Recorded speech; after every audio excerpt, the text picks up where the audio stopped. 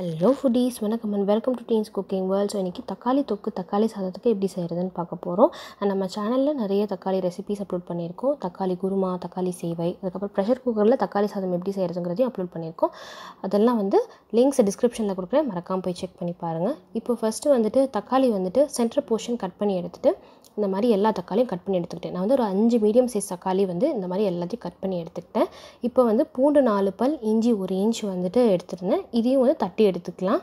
இஞ்சி பூண்டு பேஸ்ட் சேர்க்குறீங்கன்னா ஒரு டேபிள் ஸ்பூன் சேர்த்துக்கோங்க. ரொம்ப எம்மியாக டேஸ்டியாக இருக்கும். ஓகே இந்த அளவுக்கு வந்து கட் பண்ணி எடுத்துக்கலாம். தட்டி எடுத்துக்கிட்டேன். ஸோ இப்போ வந்துட்டு தாளிக்க ஸ்டார்ட் பண்ணிடலாம். ஒரு கடாயில் வந்துட்டு நல்லெண்ணெய் சேர்த்துக்கோங்க. ஒரு நாலு டீஸ்பூன் எண்ணெய் ஜாஸ்தியாக விடணும். அப்போ தான் நல்லா டேஸ்டியாக இருக்கும். வர வரன்னு இருக்கக்கூடாது இந்த சாப்பாடு.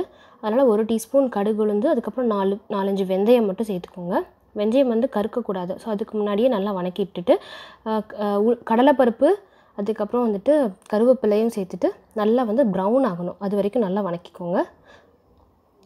அப்புறம் வந்துட்டு பச்சை மிளகா ஒன்று இஞ்சி பூண்டு த தட்டி வச்சுருந்தோம்ல ஸோ அதையும் உள்ளார சேர்த்துட்டு இப்போ வந்து அது பத் வாசனை பச்சை வாசனை நல்லா போகணும். நல்லா வந்து ரோஸ்ட் ஆயிரும். வீட்டை நல்லா வாசமாக இருக்கும் இது நீங்கள் பண்ணும்போது.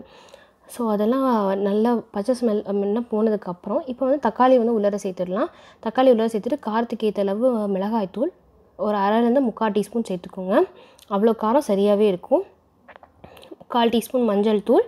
உப்பு வந்து தக்காளி தொக்கு கூட ஜாஸ்தி கொஞ்சம் உப்பு ஜாஸ்தியாக இருக்கணும். ஏன்னா ரைஸில் போட்டு மிக்ஸ் பண்ணும்போது டம்மி ஆயிரும். அதனால் கல்லுப்பு வந்து சேர்த்துக்கிட்டேன். இப்போ அதை வந்து கவர் பண்ணி ஒரு ரெண்டுலேருந்து மூணு நிமிஷம் குக் பண்ணிக்கோங்க. ஒரு ரெண்டுலேருந்து மூணு நிமிஷம் கழித்து இதை வந்து நீங்கள் வந்து சா குக் பண்ணி ப- அப்படி குத்தி விட்டிங்கன்னா நல்லா வந்து சாஃப்டாக குக் ஆகிருக்கும் அந்த நீங்கள் மிக்ஸ் பண்ணாமல் இருந்தாவே அதுவே வந்து ரெண்டுலேருந்து மூணு நிமிஷம் மூடி வச்சு குக் பண்ணிங்கன்னா நல்லா சாஃப்டாக குக் ஆகிருக்கும் அதுக்கப்புறம் இந்த மாதிரி நீங்கள் வந்து ப்ரிக் பண்ணிகிட்டே இருந்தீங்கன்னா பார்த்தீங்களா நல்லா பியூட்டிஃபுல்லாக குக் ஆகிடுச்சு ஸோ இப்போ வந்து பியூட்டிஃபுல்லாக வந்து தக்காளி வந்து குக் ஆகிருக்கு இப்போ இந்த தக்காளியோட ஈரப்பதம்லாம் போய் எண்ணெய் வந்து நல்லா மேலே மிதக்க ஆரம்பிக்கணும். நம்ம ஃபஸ்ட்டு ஊற்றின எண்ணெய். அப்போ வந்து தொக்கு ரெடி ஆகிடுச்சுன்னு அர்த்தம். இப்போ வந்து எண்ணெய் வந்து தண்ணி வந்து போயிடுச்சு. எண்ணெய் வந்து ஃபுல்லாக மிதக்க ஆரம்பிக்குது சைடில் ஸோ அவ்வளோதான் எம்மியான டேஸ்டியான தக்காளி தொக்கு வந்து ரெடி ஆகிடுச்சு